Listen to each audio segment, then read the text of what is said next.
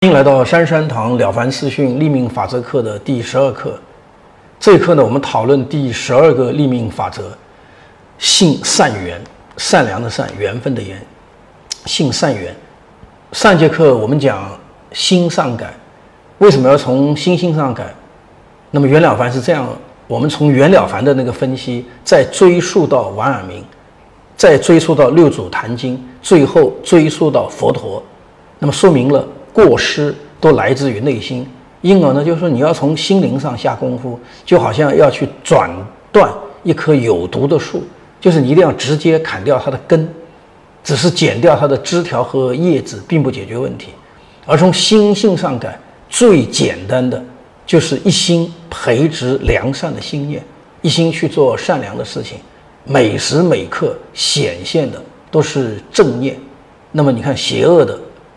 不正当的这种念头，他就不会来找你，就好像太阳高高挂在天上，那些鬼鬼祟祟的东西就会全部消失。那么这是专注于正念的一个核心，而心而一心培植那个善良的心念呢，一心去做善良的事情，首先就是要信善缘，就是你要相信善良，信仰善良。那么袁了凡就引用了《易经》里的一句话，叫“积善之家，必有余庆”，意思就是说。积累善行的家族，一定会有平安顺利的传承。然后他就用了十个故事来证明这句话。那这里有一个点，我觉得还是要提醒一下大家，就是在早期儒家的语境里面，“极善”的善不完全是善良的善，它也有什么意思呢？也有指的是人际关系的和谐。那袁了凡很显然，他把善更多的理解成了善良。当然也有和谐的意思。至于他说的十个故事，在古代的中国民间是广泛流传的关于善良的一种叙事话语。那第一个故事是关于杨龙的曾祖父和祖父，就是有一年洪水冲走了很多房子，淹死了不少人。那么两岸的民众只顾就是打捞那个河里的财物，只有杨龙的曾祖父和那个他的祖父。一心救人，对于那个水里面漂流的那些财物一无所取。那后来杨家人就人丁兴旺。第二个故事是来自于杨志成，那他在县里做一个小官的时候，看到县令在严厉的鞭打一位罪犯，就是于心不忍，就劝说那个县令，掌握权力的人失去了正道，老百姓就会离心离德。假如了解了他们的情况，那么就应该怜悯他们。而不是居功自喜，他这句话其实是引用了真典的一个看法，就孔子的一个学生叫真典，就是说呢，老百姓没有人愿意铤而走险去做犯法的事，所以呢，掌握权力的人面对老百姓犯法要有悲悯心，更要反思自己的管理是不是出了问题。那么县令听了杨志成的这番话，对于罪犯就变得温和了一些。那么还有一次呢？杨志成看到新来的罪犯没有饭吃，就拿出自己家里的粮食给他们。总而言之，他是一个有悲悯心的一个官员，所以后来他的子孙都在仕途上很顺利。第三个故事是关于叫谢都士，这个人呢，在那个剿匪的过程里面，他是绝对不滥杀无辜，保全了就是说一万多人的性命。后来他的儿子中了状元，他的孙子就中了探花。第四个故事呢，是关于那个莆田林家，他家的祖先里面有一位老婆婆，经常就是说做了一些面食送给那个路过的有需要的人。后来他们家几代富贵。那第五个故事是关于那个冯太守的父亲，年轻的时候看到雪地里有一个冻僵的人，他就把这个人就是扶回家，然后精心救护，使得那个人脱离了生命危险。所以后来他的子孙也就是非常顺利。第六个故事是关于应尚书，就是年轻的时候用自己的钱财救了一个想要自杀的妇女，后来他就做到尚书，但做到尚书的时候还是坚持行善，努力勤勉。后来他的子孙科举及第的比比皆是。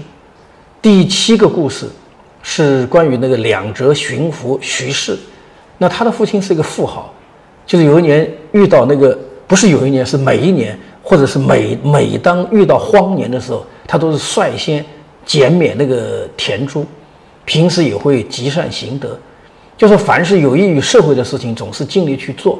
第八个故事是关于那个杜训，就是做那个刑部主事的时候，他经常去到监狱里睡觉。为什么要睡在监狱里呢？他想详细了解囚犯的情况，凡是发现有受冤枉的人，他一定设法重新审理，还人清白。那后来他三个儿子都在仕途上特别顺利。那第九个故事是关于包平，他曾经经过一个寺庙，看到观世音菩萨的塑像，露在那个露天里面，风塞雨淋，就把自己随身带的钱，还有身上值钱的东西都给了主持，让他把庙好好维修一下。那么他的儿子后来中了进士。第十个故事是关于知吏的父亲，就在做那个刑部官员的时候，发现有一个囚犯是被冤枉的，就。为了就为他去平反，但是呢，为他平反帮助他的时候，他不成人之危。后来他的子女都中了进士。当时当然，知吏父亲这个故事要放在明代这么一个特定的时代去看，不能以我们现在的眼光去评价。那么袁了凡讲的这十个十个故事呢，做的事都不太相同，但他认为就是说，他们做的东西、做的事情都是可以归于善良。对于这些故事，那有些人会较真，就是这些事情是真的还是假的呢？但是在我看来呢，善是一种信仰，其实和真假无关。也就是说，善是一种来自于更高的指令和法则。人之所以为人，必须要信奉善良的原则。就是我们可以有不同的观点，可以有不同的信仰。你看，不同的宗教。不同的生活方式，但是人必须要遵循的一个基本原则就是善的原则。古代那个西方的哲学家亚里士多德他就认为，只有通过实施善行和追求品德美，才能达到人的幸福和全面发展。而在康德看来，人类必须按照普遍性的原则来行事，即就是说，行为规则应该适用于所有人，不论他们的个人利益如何。那按照康德这个逻辑呢，就是人们遵循善良的原则，是因为这是普遍性的要求，这是普遍理性的要求，或者说是普遍的道德理性的要求，而不是出于个人喜好或者私利。就人类之所以把善作为基本原则，也在于共同利益的维护。那么根据社会契约论，个体为了保护自身利益和维护社会秩序，必须放弃一部分个人权利。和自由，那么环境科学也告诉我们，人类的生存和繁荣依赖于环境的平衡和可持续发展。那么，为了能够维护人类的生存环境，人们必须尊重大自然，保护生态平衡。这就意味着人们必须遵循善良的原则，以保护地球和自然资源，从而造福于所有人类。那么，格林童话里呢，有一个故事。讲三个女孩子先后到林中为砍柴的那个父亲送饭，但他们三个女孩都迷了路，都遇到一户奇怪的人家。这户人家里面有一个头发花白的老头，然后那个火炉边躺着三只小动物，一只小母鸡、小公鸡，还有花斑那个奶牛。那这个老头和三只小动物呢，对三个女孩表示了同样的欢迎，说了同样的话。但是呢，这三个小女孩因为一念之差，因为有不同的回应，就有了全然不同的命运。那第一个女孩进了房间，她说：“哎呀，我迷了路，能不能在这里过一夜？”那花白胡子的老头就问：“美丽的小公鸡，美丽的小母鸡，还有你美丽的小花牛，你们可乐意？”那三只小动物就回答：“嘟嘟嘟。”老头就说：“那好吧，你帮我们做做一顿饭。”那女孩子就去厨房做了饭。然后就端出来和那个花白胡子的老头一起吃。吃完之后呢，他就问：“哎呀，我很困，睡觉的床铺在哪个地方？就睡觉的地方在哪？”三只动物就开了口：“你和他一块吃了，你和他一块喝了，你根本没有想到我们。现在你该自己去看过夜的地方了。”那老头呢，就让他去楼上的小房间睡。当女孩沉沉的睡去，老头就打开地板上的一道暗暗门，把她推到了地窖里。那么第二个女孩和第一个女孩遇到的一模一样，就是他们整个过程是一模一样的。第三个女孩子进了房间，发生的事情和前面那两个女孩遇到的都是一样，但是呢，不一样在哪呢？就当做好饭的那一刻，他突然想到那三只小动物还没有吃呢。他说：“我怎么能先吃呢？还是先给他们吃吧，然后等他们吃完我再吃。”于是他就出去拿了麦穗和水给三个小动物，等他们吃饱之后，自己再去和那个花白胡子老头一起吃。吃完以后，他就问：“现在我可以休息了吗？我可以去哪儿睡觉呢？”三只小动物就说呢：“嘟嘟嘟，你和我们一块吃，你和我们一块喝，你把我们全都想到，我们祝你睡一个好觉。”然后女孩子就去了楼上的小房间，很快就睡着了。当黎明的阳光照进窗口，小女孩睁开眼睛，发现世界完全变了，再也不是小房间。而是宽敞的那个大厅，像皇宫那样富丽堂皇。那个花白胡子的老头也不见了，而是一个英俊的年轻人。然后那个年轻人就告诉他：“我其实是一个王子，有一个女巫把我变成了老头，把我的三个仆人变成了小母鸡、小公鸡和那个奶牛。一定要等到一位好心肠的女孩子到我们这里，我们才能得救。那么昨昨天。”你的一个善念，你的一个善念救了我们，结局当然是王子娶了女孩子。那么格林童话里面另外一个故事，它讲的是一个恶念如何毁了一个人，就是有一个裁缝在树林里，因为贪财起了一个贪念，恶念起了一个恶念，杀了一个犹太人，抢了八个就是银毫子。犹太人临死前说。明亮的太阳会揭露这件事，裁缝就掩埋掉了犹太人，继续到处漫游。那么，在一座城市里帮一个师傅做工，他师傅的女儿就爱上了他，两人结婚，还生了孩子。那么有一天早晨呢，裁缝喝咖啡的时候，就是阳光照进了那个咖啡杯，那个咖啡杯反光就映到那个那个墙上，晃来晃去，画出了一个圈，停留在那个地方。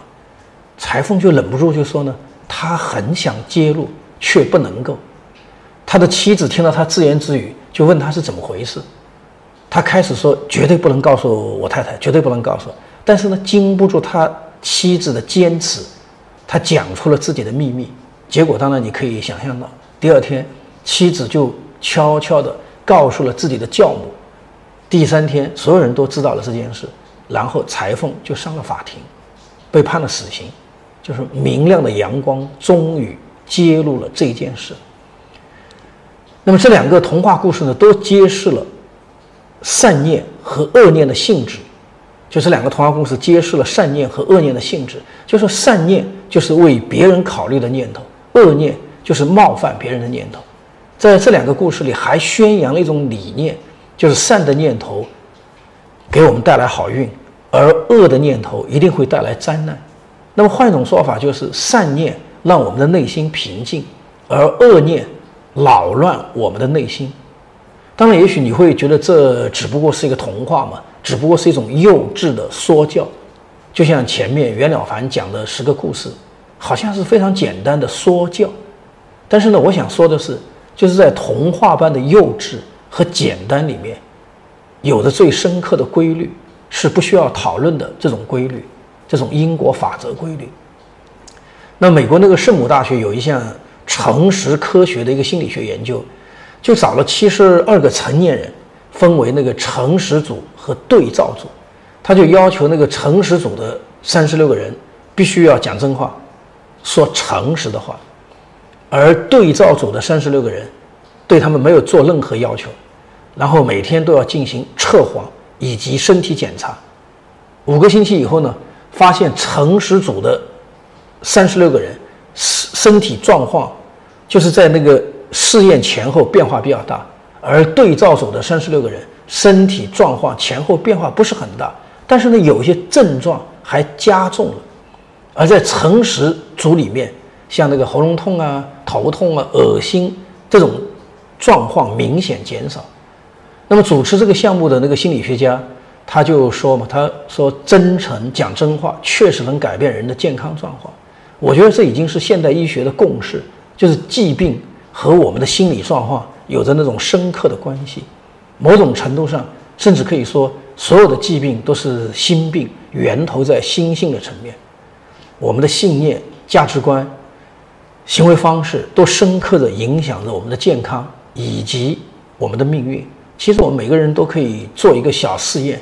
就是你可以认真观察一下，就是你周围的十个人，选十个人，观察一下这十年或者二十年，观察一下，就他们的价值观、性格、行为和他们的健康、事业之间有没有一些关联和规律。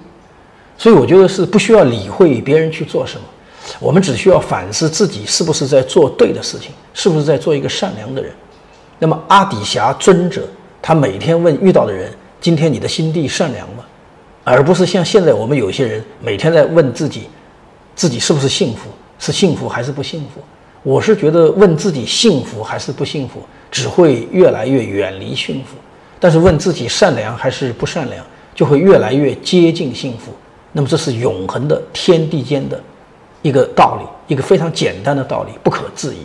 那么这节课就讲到这里。